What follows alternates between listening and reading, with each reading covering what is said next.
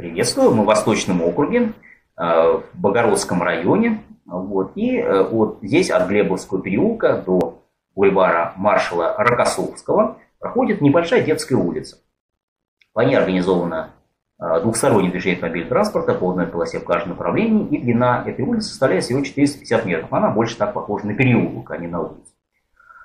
Вот. И, ну, правда, сначала она была несколько длиннее, и продолжалась она до 4 гражданской улицы с одной стороны, а с другой стороны за бульваром Рокоссовского шла туда дальше до Ивантеевской. Ну, а потом эти участки застроили, и теперь улица сократилась вот э, до Глебовского переулка и, и бульвара маршала Рокоссовского. Э, до 2022 года она называлась Майской улицей. Ну, трудно сказать почему, но, наверное, может быть, потому что у было хорошее настроение, майское такое, да, ну, типа как бы рассвета природы, рассвета жизни. Действительно, в мае все бурлит, все кипит, цветет. Вот, ну, типа как вот майский просик, допустим, в том же э, парке Сокольники. Ну, трудно сказать, в общем, почему. Э, название понравилось, наверное. Ну вот, в 2022 году она получила современное название «Детская». Ну, конечно, название несколько смешное, потому что, ну, что значит детская, да. Но э, считается, что здесь была создана Э, так сказать, детская площадка, детская площадка после революции 1917 года. Ладно, да? И эта площадка, она была прообразом будущих детских пионерских лагерей. Ну, то есть это, как бы, я так понимаю, своего рода был создан типа городского пионерского лагеря. Ну, тогда и пионерские лагеря не назывались, а как бы, ну, такой обычный детский такой, типа, лагерь для детей, наверное, такой, да, где мы могли как проводить время. Ну и вот со временем как бы он стал таким вот прообразом, или как бы предвестником да, будущих пионерских клубов. Ну, в том числе и городских, которые до нынешних времен существуют. Вот, но сейчас они, правда, называются оздоровительными, ну, не суть важно. Ну, вот, как бы там ни было, так вот название, но и, и осталось.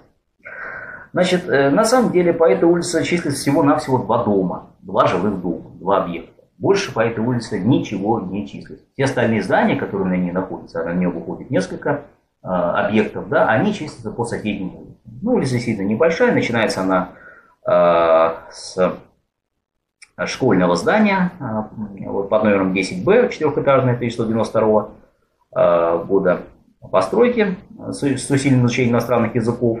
И эта школа, она числится, по-моему, по Бойцовые улицы, которые проходят неподалеку, параллельно этой улице, там справа. А вот дальше идет, с левой стороны, за зданием школы, идет как раз 17-18 этажный дом, новый, под номером 19 причем, да, нумерация такая вот, номер 19 и номер 14. Вот эти дома только числятся по этой улице. Такие вот номера. 19 и 14. То есть ни один, ни два, ни три таких номеров просто нет. Так вот, этот дом был построен под номером 19, был построен в 2006 году на месте бывшего детского сада, который долгое время был заброшен, но потом его просто снесли. Ну и заканчивается улица с левой стороны пятиэтажным домом, который чистится по бульвару маршала Рокоссовского. Что касается правой стороны, то начинается э, эта улица с двух пятиэтажек, вот, и автосервиса, вот, на месте бывшей Э, создан на, бывшей, на месте бывшей квартальной тепловой станции, но эти дома и автосервис числятся по Бойцовой улице тоже.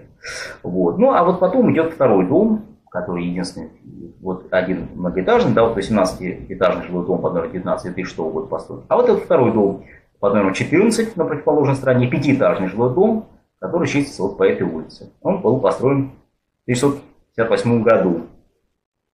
Вот. Ну и заканчивается улица по правой стороне девятиэтажным жилым домом, вот, который находится торцом к этой улице и часом по Бойцовой улице.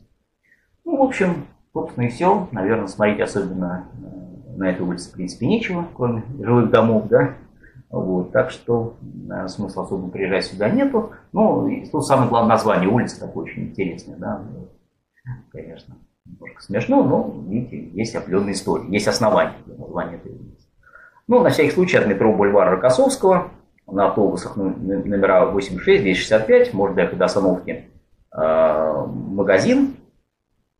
Вот, находится она на Бойцовой улице. И дальше уже через Глебовский переулок пройти как раз э, к этой детской улице. По самой улице общественный транспорт не проезжает.